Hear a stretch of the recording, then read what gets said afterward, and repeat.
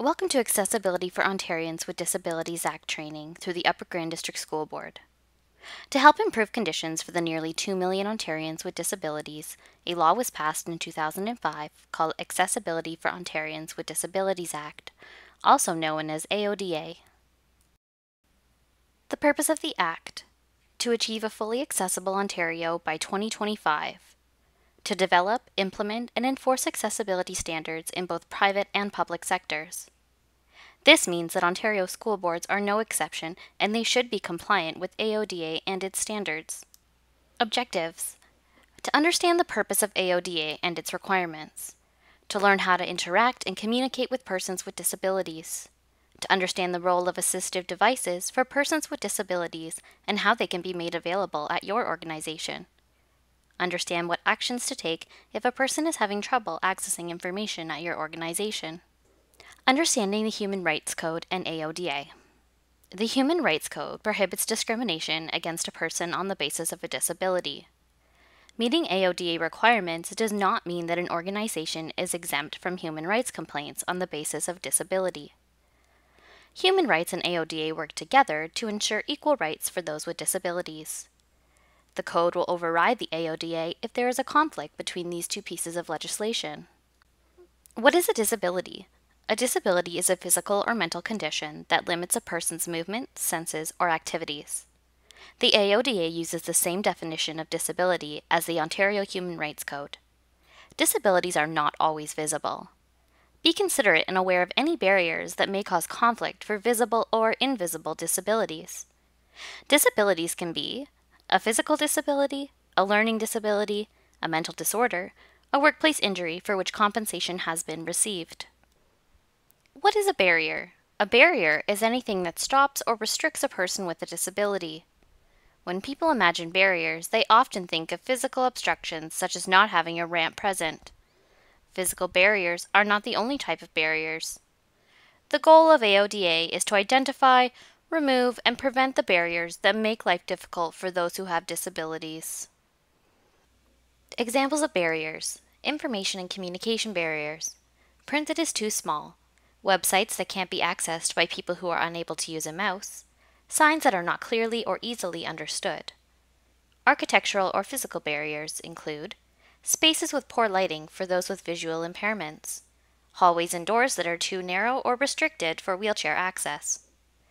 Organizational barriers, barriers that limit people with disabilities from entering or advancing in the workplace. What does accessible education look like? The Ontario Human Rights Commission has its own recommendations regarding accessibility in schools, entitled Guidelines on Accessible Education. These guidelines provide clarification on the following creating a welcoming environment for students, accommodation process and planning, right to confidentiality and disclosure of information, the undue hardship standard, and rights and responsibilities of those involved in accommodation process. Five areas of focus for AODA accessible customer service, accessible information and communications, accessible built environment, employment accessibility, and accessible transportation.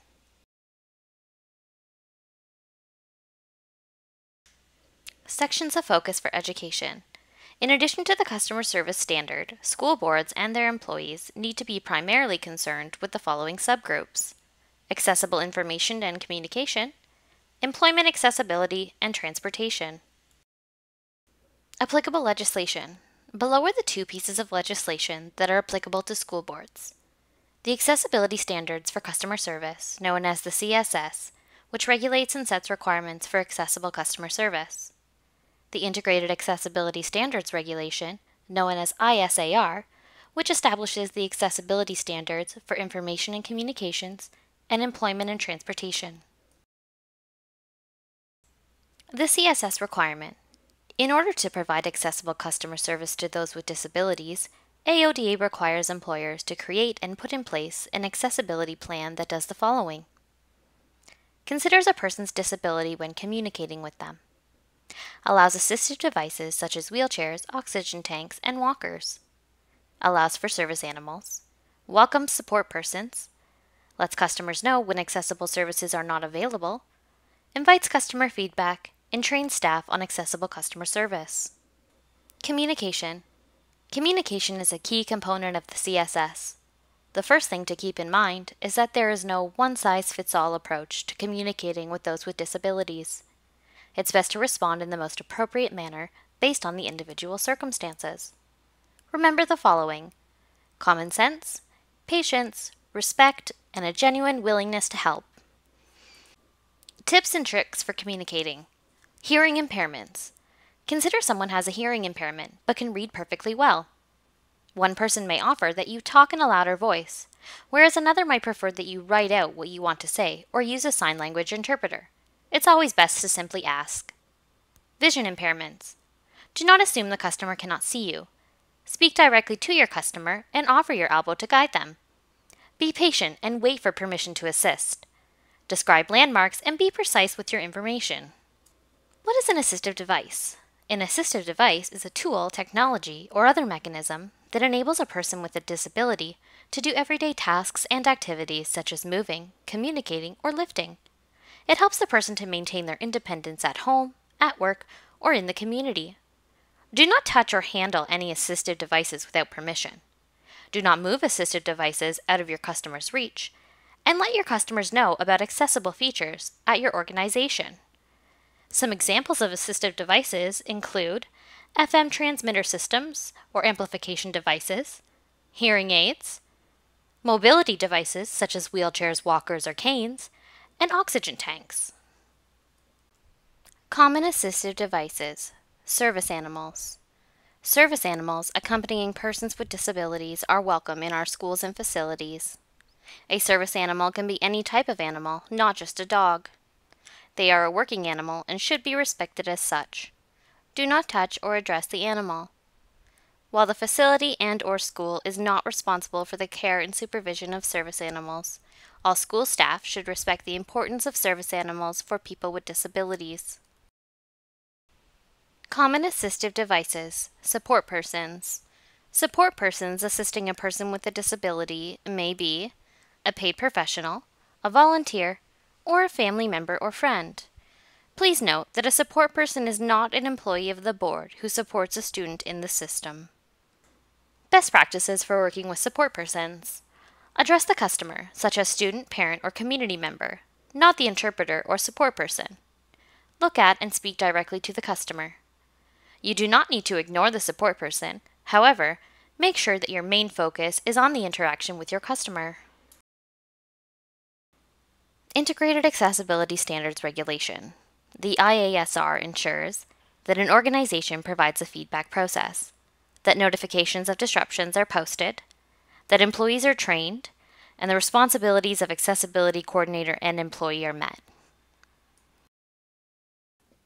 Notice of disruption. Organizations must provide persons with disabilities advance notice should any planned or unplanned disruption of service occur. Not all disruptions need to be announced, only when it will affect those with a disability a notice should include a reason, how long the disruption is intended to last, and what alternative facilities or services exist, if any. Example for notice of disruption. An inclement weather day has caused buses and transportation services to be canceled. Since this has a direct impact on those with disabilities, the school board must work with their team to ensure that parents are notified appropriately. The notice will include the reason for the disruption, the start and expected end date, if available, and any alternative arrangements in progress. The feedback process. Soliciting feedback is important under AODA. Anyone should be able to comment on the provision of goods and services to people with disabilities. Information about this feedback process should be readily available to the public and should include what actions are to be taken after you've received a complaint. For feedback channels, remember to keep accessibility in mind. People with various disabilities may need to use your feedback system, so it must be accessible and be able to accommodate different types of disabilities. The feedback process at UGDSB.